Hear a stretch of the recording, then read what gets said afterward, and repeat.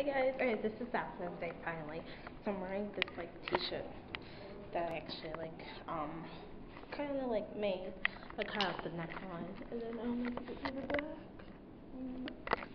Yes. I have this headband from Target, watch from Nordstrom, some assorted bank bracelets and bangles. Um then I have on these like tights from Max Mara, stuff like that with lace in it. Um, and I have this BCBG jacket I'm carrying. Oh, and my mini bag as well. Uh, and then this necklace and some hoop earrings and pearl studs for Forever 21. So that's it. This video is really moving.